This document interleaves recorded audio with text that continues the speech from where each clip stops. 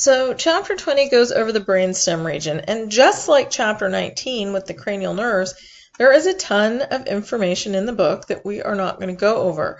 So we're going to talk about the brainstem in terms of its basic, the basic function of its individual parts. So for the learning objectives, I want you to be able to describe the basic functions of brainstem structures, the reticular formation, the pons, the medulla, and the midbrain. Um, I want you to be able to list and define what we call the four Ds of brainstem dysfunction. It's kind of handy that um, all of the um, symptoms that are generally um, associated with brainstem dysfunction all start with the letter D, makes it easy to remember. We'll go over those. So the brainstem is superior to the spinal cord and inferior to the cerebrum. It is literally a bridge between the spinal cord and the cerebrum. So from inferior to superior, we have the midbrain, um, which is where most of the cranial nerves um, originate, although some of them originate on the pons and the medulla. And then the pons, uh, I'm sorry, inferior to superior is medulla, pons, midbrain. Um, superior to inferior is midbrain, pons, medulla. So pons means bridge. And medulla is short for medulla oblongata. So you, you think of it as sort of that oblong, um, elongated area at the base of the brainstem. That's the medulla. Um, and the midbrain is in the middle of everything. So ways to remember. Um, connections of the cranial nerves. Um, there's a two, three, two, four, three rule. You don't have to remember this, but just in case you ever want to. Um, two cranial nerves connect with midbrain, four connect with the pons, and three connect with the medulla. So um, the two, four, three rule, if you want to remember that. So um, there are sensory, autonomic, and motor vertical tracts that travel through the brainstem. Um, some tracts just continue straight through the brainstem without alteration. The brainstem acts as a conduit. But because of that, if you have an injury to the brainstem, um, it's going to affect a lot of things because stuff's not being transmitted from the cerebrum to the periphery or vice versa. So the reticular formation is um, a complex neural network that includes um, reticular nuclei, and we know that nuclei are groups of neurons with common function. Um, the connections of those nuclei and the ascending and descending reticular pathways. Um, the reticular formation um, integrates sensory and cortical information. So it tells you like what you see and feel and hear and taste and everything with what you remember and processing in the cerebral cortex. Um, the reticular formation also regulates somatic motor activity, autonomic function, and consciousness. So huge. It's a huge, um, important thing. And remember, we had that one spinal tract, the spinal reticular tract, that um, uh, when your uh, spinal reticular tract is activated, it's alertness and arousal and consciousness. It modulates that nociceptive pain information from the D fibers the A, um, sorry, the A delta fibers. Um, it also regulates neural activity throughout the central nervous system. So that's part of its keeping track of your um, arousal and alertness, if that makes sense. So um, the part that regulates your consciousness is called the ascending reticular activating system, or ARAS. Um, consciousness is our awareness of self and surroundings. Um, and our consciousness system governs alertness, sleep, and attention.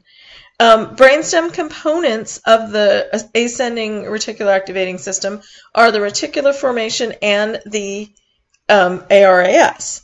So this is um, this is what is activated when we're getting that incoming nociceptive data that's keeping us awake at night. My knee hurts and I can't sleep. My shoulder hurts and I can't sleep. It's keeping us awake and alert because it's like something's wrong. We need to deal with this. And a lot of times, all it does is make you grumpy. And then you come into PT and complain about how you can't sleep at night. but sleep is a big, important part to healing. So there you go. It's keeping us alert. Um, the the other part of the reticular system is that consciousness, that awareness of self and surroundings. So, and integrating sensory information with cerebral information. So, um, I sort of, um, there's a couple of um, videos in the module that you can look at um, that talk about the reticulating activating system, which is kind of, they're kind of interesting. You don't really need to know the information specifically, but sometimes just integrating this like, oh, I'm, I'm getting a big picture of what's going on.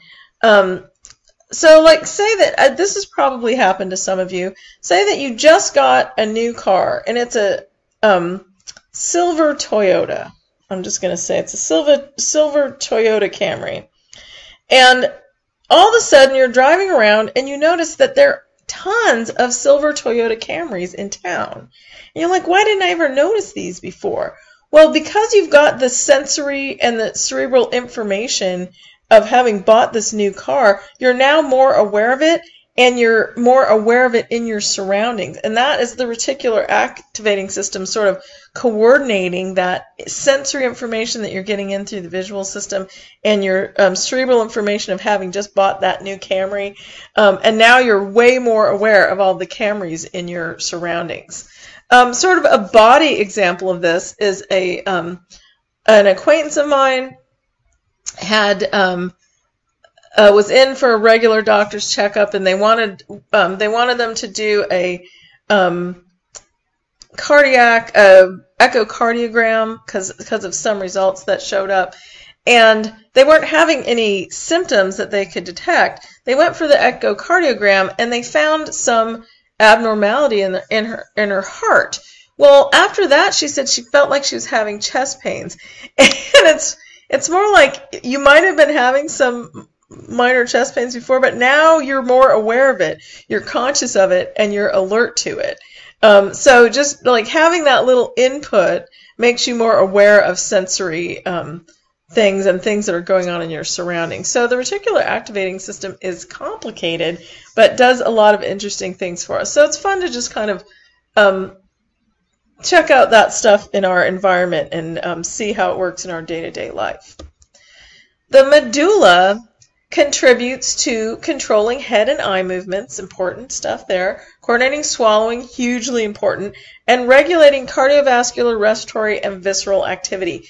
Um, yeah, vital functions, very, very important.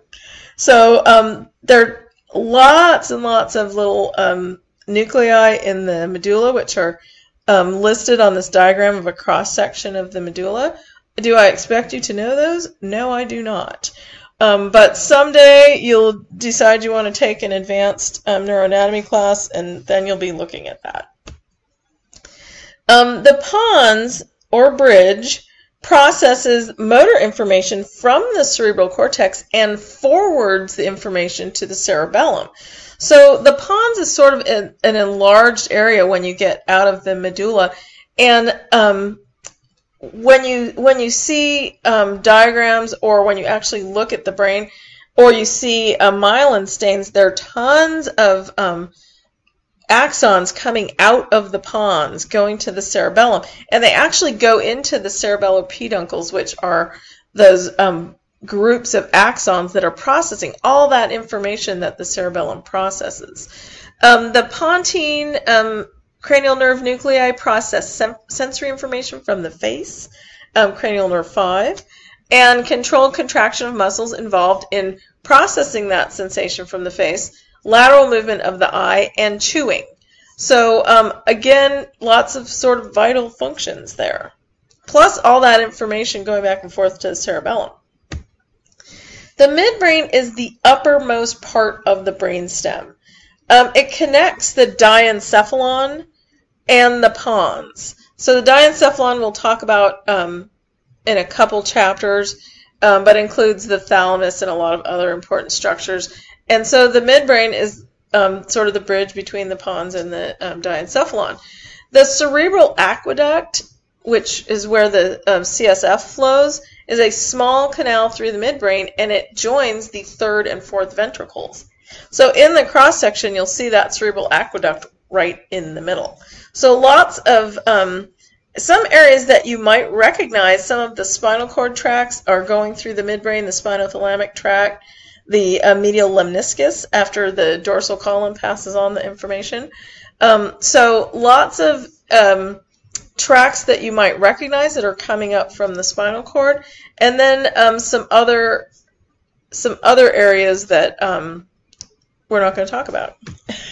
that makes it easy, right? So the cerebellum we already talked about in its own little chapter, but just as a review, um, the cerebellar function is entirely dependent on input and output connections with the brainstem.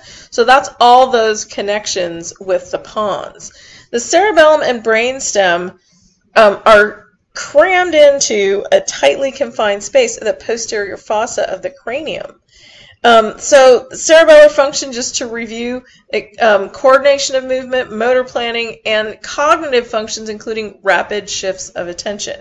So it needs all that input from the brainstem, input and output, to um, do all those things. So the um, disorders of the brainstem region, because the brainstem region involves a lot of these vital functions and being a bridge for a lot of those spinal tracts, um, disorders of the brainstem can be hugely debilitating. So, um, evaluating the functions of cranial nerves and vertical tracts can localize lesions within the brainstem.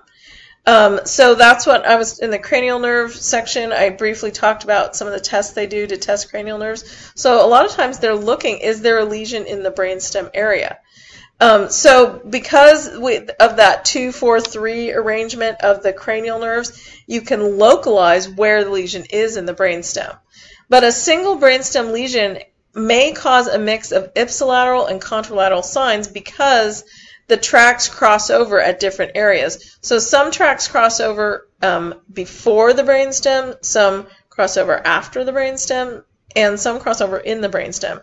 So um, the uh, laterality of signs doesn't necessarily pinpoint the brainstem lesion. Um, brainstem lesions uh, are the um, mix of uh, Contralateral and ipsilateral signs occur because the cranial nerves supply the ipsilateral face and neck, and many of the vertical tracts cross the midline in the brainstem to supply the contralateral body. So um, you get that mix of um, signs. Lesions in the brainstem can also interfere with vital functions and consciousness. Um, that is very important. That's why it's in red. So disruption of vital functions secondary to brainstem damage can cause the heart to stop beating, the blood pressure to fluctuate uncontrollably, and breathing to cease. Hugely important things. Areas in the medulla and pons regulate these vital functions, and so um, having uh, damage in those areas can be life-threatening. The four Ds of brainstem dysfunction, cardinal signs, dysphagia, which is difficulty swallowing, dysarthria, which is difficulty in speaking, diplopia, which is double vision, and dysmetria, which is inability to control the distance of movements. So you should memorize those. That would be a good thing to memorize. Four Ds of brainstem dysfunction. Um, states of altered consciousness may occur with lesions either to the brainstem or the cerebrum um, because of all those vital functions that it controls. Brainstem damage affecting reticular formation or axons in the ARAS interferes with consciousness. So sometimes when someone has um, trauma and they're in a coma, it's because the brainstem is damaged. Damage to the cerebrum interfering with hypothalamic or thalamic activating areas or within the function of the entire cerebral cortex um, may also impair consciousness. So you can be in a coma because you have brainstem damage. You can also be in a coma from cerebral damage. So um, consciousness is uh, one of those things that um, the lesions to the brainstem can um, interrupt vital functions to the point where you are dead or in a coma. So Ischemia in the brainstem usually produces an abrupt onset of neurological symptoms, including dizziness, visual disorders like diplopia, um, weakness, incoordination, and somatosensory disorders because all those tracts go through the brainstem. Um, vertebra, the uh, vertebrobasilar artery is what supplies the brainstem, and um, insufficiency of that artery, artery can produce transient symptoms of brainstem region ischemia when the neck is extended and rotated. So when they if your neck is extended and rotated and you get dizziness and double vision and weakness and that sort of thing, um, yeah, that's go to the ER. That's serious.